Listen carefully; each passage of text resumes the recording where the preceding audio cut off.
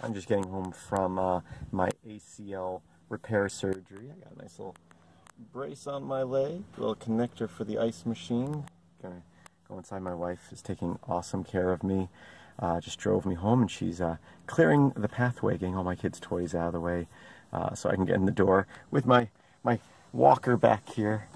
Um, so pain meds are still doing good. I'm not in pain. My leg is completely numb, but uh, looking forward to finally getting this done. It took three months almost before insurance got approved and got the surgery scheduled, so I'm glad it's done.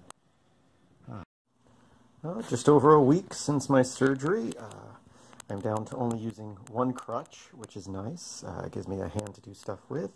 And uh, two more days, and hopefully I'll get my stitches out. If you're wondering what this hose is, it goes to that little water pump down there that has ice in it. I had to pay 150 bucks for that, but it's well worth it. It just uh, constantly ices my legs, so I don't have to use ice packs and constantly switch them out. So, pretty much been laying here for a week, hooked up to this machine. uh, going a little stir crazy, uh, but I am getting a little more mobile, and uh, so I'm I'm at least get able to get around the house a little bit better now. Had my post-op today, got my stitches out. That was nice. Uh, hopefully another day or so, and I'll be off the crutches. You know, when I was a kid, I uh, wanted to be the Punisher when I grew up, and now I want to make some sort of joke about uh, ending up being payback instead. But I don't think anybody would get that joke.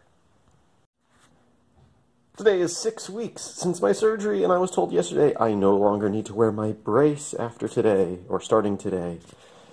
That's nice.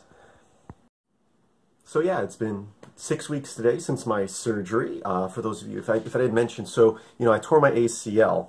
So what they had to do was they took part of my hamstring and then drilled through my knee and replaced my ligament with part of my hamstring. Uh, apparently you have accessory hamstrings that you don't need.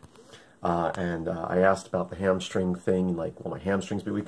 The doctor told me, oh, you'll you'll be sore for a couple of days. Well, six weeks later, and my hamstring's still still pretty tight and sore. But things are going good.